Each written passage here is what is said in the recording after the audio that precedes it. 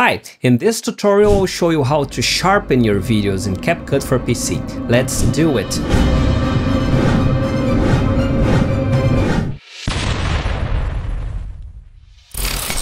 Sharpening a video in CapCut for PC, it's very easy and is still free while I'm making this video. I've got a clip here in my timeline and if I increase a little bit giving a little zoom, you can see that this video is not very sharp. So I will click on the clip. I'll go here to adjustment. I will scroll down until I see sharpen. So look what happens when I increase the sharpen. Let's check before and after.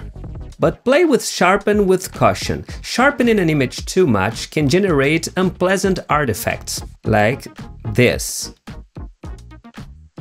Around the eyes, the nose, the mouth is not that good. So you have to be wise when you're playing with sharpen to find a sweet spot.